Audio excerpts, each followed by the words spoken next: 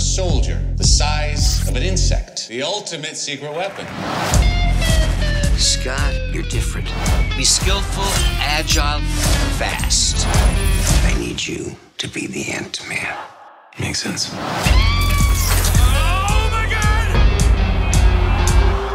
awesome. The suit has power. You have to learn how to control it.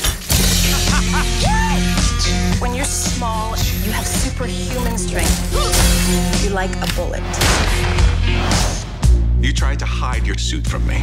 Now, it's gonna blow up in your face. Pick on someone your own size.